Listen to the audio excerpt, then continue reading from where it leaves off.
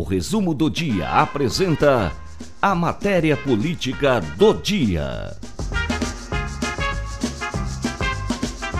O deputado Eliseu apresentou uma proposta na Comissão de Direitos Humanos para anular o título de cidadão matogrossense dado pela Assembleia Legislativa ao presidente da República, Lula. Nós ouvimos o deputado Júlio Campos, membro da comissão. Ele é contra e explicou por quê. Veja bem, há poucos dias atrás eu consegui, apresentei um projeto e consegui aprovar esse projeto na Assembleia e já foi sancionado, transformado em lei pelo governador Mauro Mendes, de que é proibido deshomenagens. A homenagem prestada a alguém no passado não pode ser retirada agora. Como que eu então, que fiz um projeto proibindo deshomenagem, vou votar um projeto de lei do deputado Eliseu que quer caçar Júlio Campos também falou de política. Analisou os números do MT Dados, aonde o deputado Botelho aparece em primeiro lugar em todas as simulações. Eu vejo com naturalidade e tenho certeza que isso é verdadeiro. Sabe por quê? Que há poucos dias atrás, um fim de semana, fui comer pastel ali no bairro é, Dom Aquino, naquela pracinha em frente à igreja São Judas Tadeu. E numa.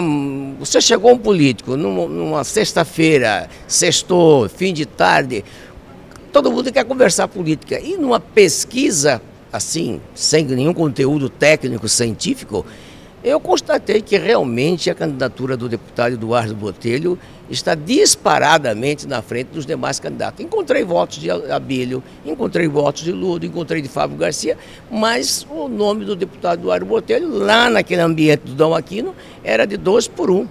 Né? Então eu acredito que realmente o MT Dados, que divulgou uma pesquisa agora, está constatando de que a candidatura do deputado Eduardo, a pré-candidatura do deputado Eduardo Pereira já chegou às bases e está consolidando cada dia mais como um grande projeto da Prefeitura de Cuiabá para 2024.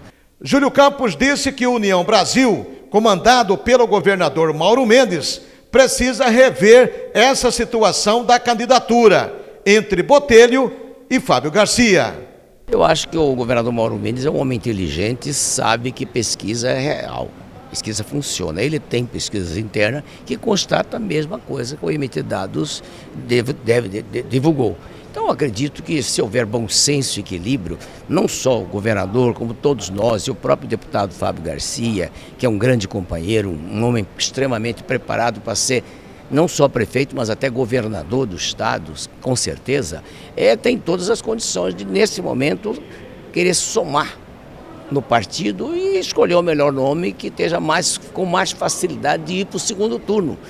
Júlio Campos também falou sobre a eleição de Várzea Grande, a reeleição do prefeito Calil Baracate. Nós temos compromisso de ir até o final desse mandato apoiando integralmente a gestão Calil Bacate, não só com emendas, como participando da nossa equipe de governo na admissão. Mas a outra eleição tem que ser discutida, né? É uma nova eleição, um novo projeto, há alguma sinalização de que partidos de oposição a nós quer vir compor e há uma certa simpatia de determinados grupos dessa coligação em trazer pessoas que não são bem-vindas ao nosso grupo que nos ofende, nos calunia, nos critica diariamente e agora quer vir para o nosso palanque. Então, são, todos esses detalhes têm que ser decididos